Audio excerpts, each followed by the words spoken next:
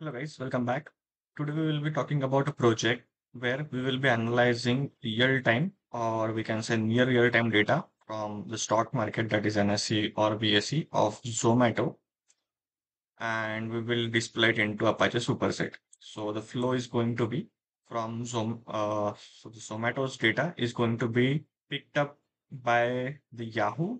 So Yahoo is having its own API called as YFinance and using Python we're going to read that uh, data or pull that data and push it into Kafka. From Kafka, we're going to move it to Druid, and from Druid, we are going to analyze it in Apache Superset. Let me just quickly move it. So it is going to get analyzed into Apache Superset. So this is how the flow will be. So why I'm saying it's near real time because uh, from the Python API, we are going to put it like 12 every 12 seconds because even that stock market API of Yahoo Finance, that is YFinance, is not able to give, I mean, it returns even if you run every 10 second, every one second, but it will return same value. So instead of doing that, let's have it like 11 or 12 second, and then we will uh, consume it into Kafka. From Kafka, it will be consumed into Druid, and then from Druid, we will try to build a near real-time report of that uh, stock information into Apache Superset using like a line graph or something like that. So this is going to be a multi-video series. I will try to cut uh, each video into smaller pieces. Let's see how it goes.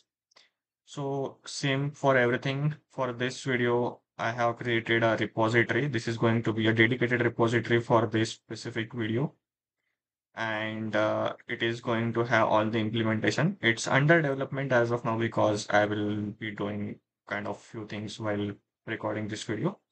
But when this is released, it should be ready. So this is how the flow is going to be. And this is again going to be a public repository. You should be able to find it using this name. I will put a link into description. So uh, for this project, I have categorized into four phases as of now. So the first phase is pulling data from Yahoo Finance, uh, Python, which Python API and processing it for like uh, putting it into Kafka. Then in second phase, we will be talking about Kafka, getting it ready and pushing the data from Python into Kafka.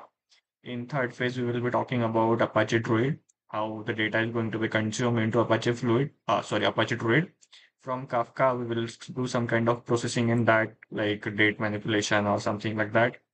And then we will pull that data into Apache Superset. We'll put like every 10 second refresh and we will try to create a line chart using that. So this is the first uh, project that we will be doing out of this data. And in next project, we will be working. So this is going to be somewhat similar from Kafka. We will try to consume it into PySpark and then we will try to do some predictive analytics on that data. So to begin, uh, I will split this video and we will start from Python in next video.